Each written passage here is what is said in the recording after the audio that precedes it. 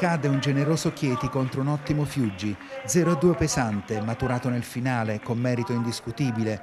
La nostra dedica, non certo per il risultato, ma per la gran fede neroverde, va a Luca, il prof vicepreside d'oro dell'Itis Lipsia Chieti, e a Valerio, che in foto tanto ha immortalato della storia teatina. Poi la curva, voce senza pause anche a fine gara, col fardello di un passivo che ci sta tutto. Gran cuore del Chieti nel primo tempo, ma i tentativi di Donatangelo al quarto, di Pietrantonio al diciottesimo, di Fabrizia al ventunesimo e di Akammadu al ventiquattresimo hanno il marchio, in modalità diverse, della sterilità. Un Chieti comunque apprezzabile, il pubblico approva a più riprese ma si capisce che i laziali hanno più qualità. Allo scadere Fall dà un primo segnale di forza. Atletico Terme organizzato e con spessore in ogni reparto e in avvio di secondo tempo, la gara ha un solo indirizzo. Il Chieti ci prova, ma lascia praterie, savane e deserti in ampia libertà. Ecco i rossi ospiti allora. Al quarto, pazzesco palo interno di potenza di nome e di fatto. Al quinto, Fall minaccia con un traversone, al settimo si ripete con un tiro sventato da Fusco. Quattordicesimo a volo di nuovo potenza alla Lautaro, da applausi ma alto. Risposta Chieti al diciottesimo, Salvatore su punizione, mezzo brivido si fa per dire visti 30 gradi, poi Baldè ci prova inutilmente di forza. Chieti redivivo, ma a segnare al 32esimo fortunosamente Gallinari, deviazione che beffa Fusco, 1-0 e appena quattro minuti dopo lo splendido raddoppio di Fal che fa tutto da solo.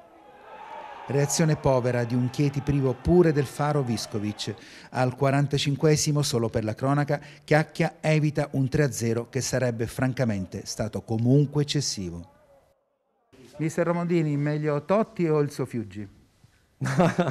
no, sicuramente il mio Fiuggi, nel senso che è il presente e, e niente, oggi Abbiamo disputato un'ottima gara contro veramente una, una, gran bella squadra che ci ha messo in difficoltà. Devo fare i complimenti alla squadra, all'allenatore.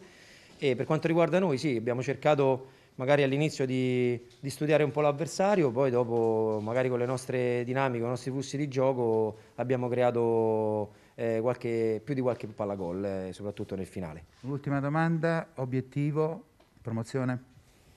Beh, l'obiettivo è arrivare, arrivare, più in alto possibile, non ci nascondiamo che, che siamo una squadra strutturata per, per cercare di, di, stare nelle posizioni alte. Alessandro Lucarelli, niente da eccepire sul risultato finale se non nelle proporzioni, però il Fiuggi ha meritato di vincere, grande squadra. Sì, penso di sì, perché negli ultimi, secondo me, dal decimo del secondo tempo hanno meritato. Nel primo tempo secondo me la partita è stata più equilibrata, nei primi dieci minuti forse noi eravamo anche ripartiti meglio. Avete giocato anche con bella personalità la prima mezz'ora. Sì, poi però eh, oggettivamente bisogna essere onesti, dal decimo minuto in poi loro hanno cominciato ad avere delle occasioni e noi piano piano abbiamo preso un po' più di paura secondo me e poi è arrivato il gol, perché quando hai paura di solito lo prendi il gol. E poi eh, c'è stato un altro piccolo calo di tensione che ci ha fatto prendere il secondo e poi la partita lì è finita perché era un momento in cui chi faceva gol vinceva secondo me loro l'hanno fatto, però devo dire che hanno meritato, quindi nel secondo tempo soprattutto. Hai avuto modo di pensare un attimo della partita, accontentiamoci del pareggio, può succedere, sarebbe stato utile? Ma no, perché alla fine i ragazzi volevano cercare di, hanno provato, abbiamo preso gol in uscita per cercare di giocare, abbiamo preso gol il secondo gol lo stesso per cercare di impostare e questa è una mentalità che la squadra ha, non si può togliere in una partita. Eh, bisogna riconoscere i meriti del, del, Fiuggi senza problemi, noi abbiamo fatto delle cose buone, delle cose meno buone e da domani si lavora per migliorare sulle cose che abbiamo fatto male.